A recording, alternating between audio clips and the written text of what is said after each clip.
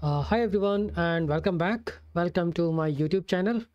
And in this video, I'm going to talk a little bit different. I mean, from whatever the traditional topic I used to pick.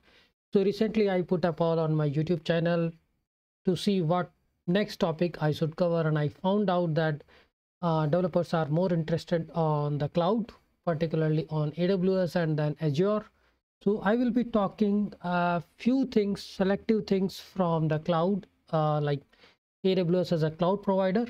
So I, I will be just starting with uh, basic cloud practitioner questions.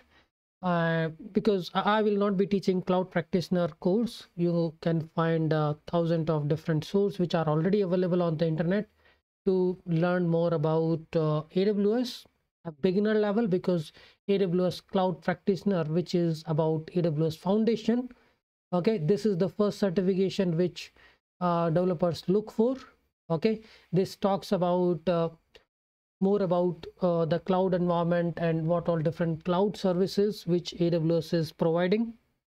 So if you are familiar with that, with all those component, all those services, then you can opt for or you can choose for uh, cloud practitioner certification exam okay?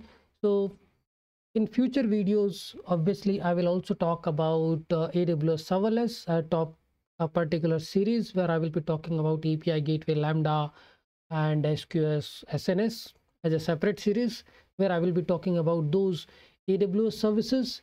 Here i'm starting with first playlist which will talk about how you can prepare for aws cloud practitioner certification I will not be teaching about it, but I already have some quiz questions and I prepare a quiz website.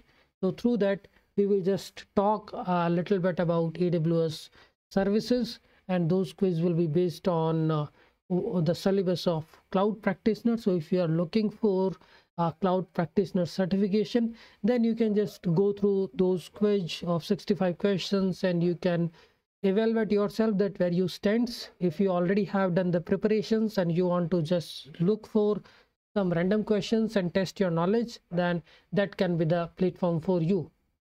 Okay?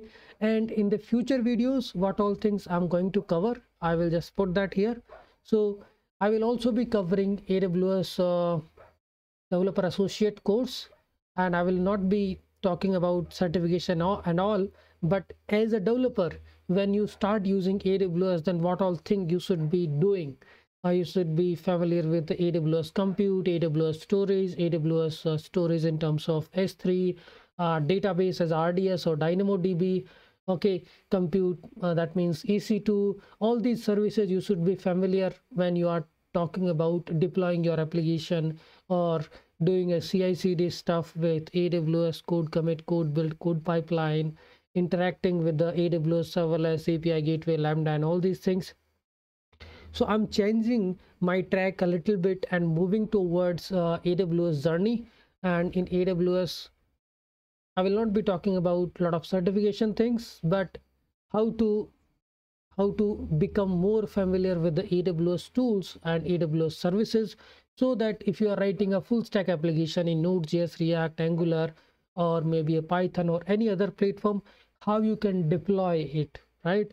Now in today's world we are using a lot of containers we are talking about containers all these things and technology is evolving day by day. So you should also update yourself. You can be a full stack developer knowing some bit of front end some bit of some bit of back end and you are you have written a lot of application. But now it's time to become more familiar with the tools and technologies of the cloud. So AWS is popular, Azure is also becoming more popular day by day. So getting your hands dirty with these things will also be helpful. You can start with very basic AWS and I'm talking about AWS Cloud Practitioner. I mean, if you just Google out it, then you will find AWS Practitioner course, which is just taking you through all the different AWS services and making you familiar with those services, what these different services provides you okay similarly we have a developer associate uh, solution architect and all these these are certification course but my focus is helping developers to become more familiar with aws environment how to create vpc subnets how, what are these regions uh, edge locations what is cloudfront route 53 s3 uh, different uh, classifications in s3 how to access s3 sqs sns from the the programming environment like using node.js code using access key and secret key. How to create a basic deployment. You have a full stack application. How you can create a basic infrastructure. Not using terraforms and cloudformation but from the developer perspective how you can think of what is your uh, infrastructure look like on aws how you can take care of scalability and all these things. So there are a lot of things i'm going to cover in this track. This is the aws journey i'm starting.